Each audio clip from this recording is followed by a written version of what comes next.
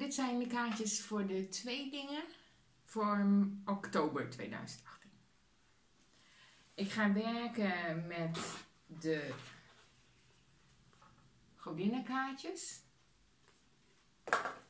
en de messages van de fairies, dus de elfenkaartjes. Dus eerst liggen de godinnenkaartjes. Ik ga eens even kijken wat er voor berichten voor jullie uh, zijn, lieve tweelingen. Oké, als eerste komt Maria Magdalena. Met unconditional love. Dus liefde is de basis en, en zonder voorwaarden onvoorwaardelijke liefde. En love yourself, others and every situation, no matter what the outward appearance mag be. Dus zorg maar voor liefde. Je kan ook zeggen van uh, I'm loved, I'm loving, I'm lovable. Hè? Dus dat je ook goed die liefde naar jezelf toe doet. Maar misschien, en dat zeggen de engelen wel tegen mij, er zijn een aantal tweelingen die die onvoorwaardelijke liefde naar de mensen in hun omgeving heel erg doen. Alleen nu wordt het in oktober wel de tijd dat je ook wat naar jezelf gaat doen. Hè? Dus zorg zo goed voor jezelf als je ook voor een ander zorgt, zeg maar. En open je hart voor liefde. Nou, gaan we even kijken wat de vriendinnen nog meer willen zeggen. Ja, stel, zet je, stel je open. Stel je open om alles te ontvangen. En, en, en, en dat hart openstellen, dat is eigenlijk al openstellen voor je intuïtie. Dus uh, misschien een meditatie doen, een geleide meditatie kan heel goed helpen. Kan ik jullie ook mee helpen nog eventueel? Daar heb ik wel verschillende dingen van. Maar je kan het zelf ook vinden en het gaat er gewoon om. Eigenlijk ga je ook aan je zelfvertrouwen werken. Hè? En, uh, maar liefde is de basis dat alles kan groeien.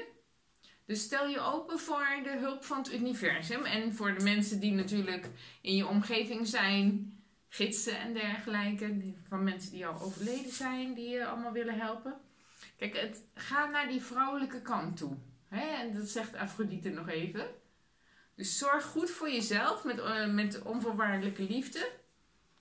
En, en, en geef die vrouwelijke kant. Hè? Want je hebt, oh ja, je, je, hebt misschien best wel die, die, die, die, ja, ik weet alles wel en ik kan ook beslissingen nemen. En, hè, het gaat erom, geef het gevoel nou even de aandacht.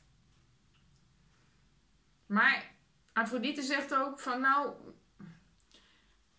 ontwaak je godinnenkracht zeg maar, door dansen, Doordat je goed voor jezelf zorgt, nou, die, dat je je openstelt, hè? misschien door middel van meditatie of in de, in de natuur lopen.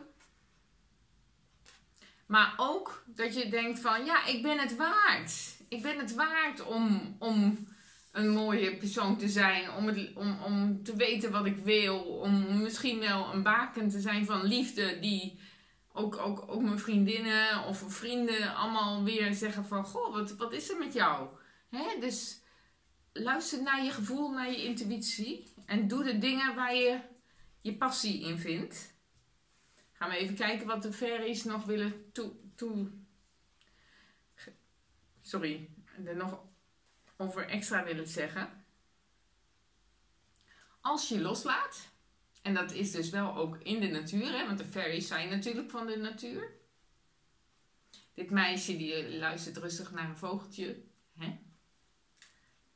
Maar ga dus naar je innerlijke kind toe. Misschien wel dingen uit je kind zijn, moeten nog losgelaten worden. Maar als je de controle loslaat, ja, dan komt je wens naar je toe. Zie je dat? Dus het is in feite, zorg maar voor die liefde. Uh, en, en denk dan even van wat moet ik nog loslaten? En geef dat over aan het universum, of aan de bron, of aan God, of aan de engelen. Hè? Dus dat, als er nog meer los moet laten, misschien kan een heling bij mij wel helpen.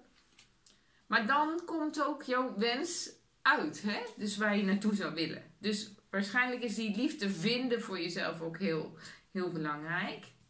Maar het is een vorm van openstellen nu in oktober. Het is gewoon maar doen, doen, doen. Dus meditatie. Meditatie. Lekker gaan dansen. Uh, de natuur in.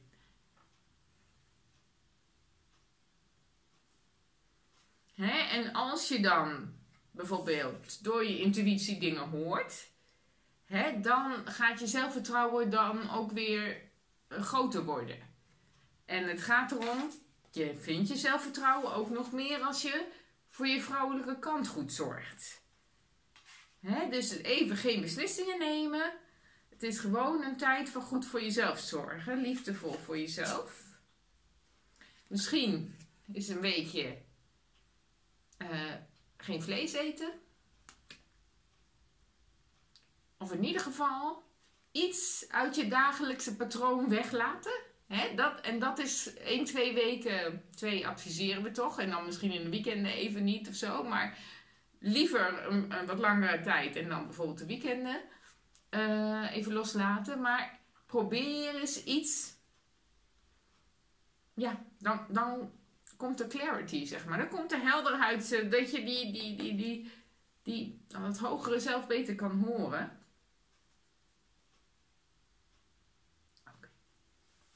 Kijk, en ze zeggen ook nog even van, nou, de zomer, hè, dus dat duurt nog een tijdje.